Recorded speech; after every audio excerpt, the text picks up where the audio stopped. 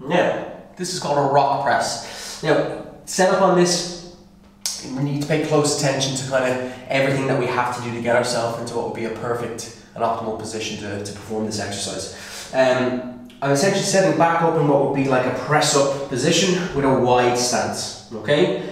From here, I'm gonna start slowly inching my feet forward so that they're almost directly underneath the hips. Okay, you can see my bum is nice and high, my hamstrings are getting a good stretch. I'm just slightly bending the knee to sort of take any sort of excess stress off them. So this has now sort of tipped me forward quite a bit over my arms, which is perfect. I'm in a good position now. My back is a little bit rounded, but it's not too much of a concern. What I'm trying to do is I'm trying to look through my legs, and I'm to think of the crown of my head coming down to meet the floor, and I'm going to perform what looks like a shoulder press but it's just body weight. Okay, so that wide stance, even wider will make it easier. Narrower can make it a little bit more difficult. It means I can tend with more of my body weight as I go through. But then from there, as I said, looking through, pausing, and pressing. Okay, controlling down, pausing right before the crown of the head hits the floor, and then driving back up.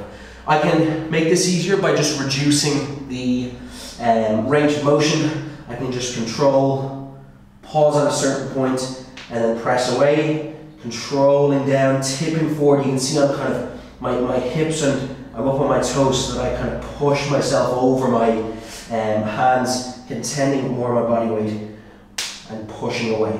Okay? If I want to make it a little bit easier again, I can potentially elevate my hands up onto a, a surface of some kind, not too high to the point that I won't get any benefit from it because I won't be able to actually tip forward and, and, and actually work with any of my body weight. So adjust as needed.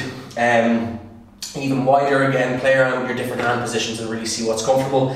Ideally around sort of shoulder width, maybe even a little bit wider. Um, but play around and see what feels more comfortable.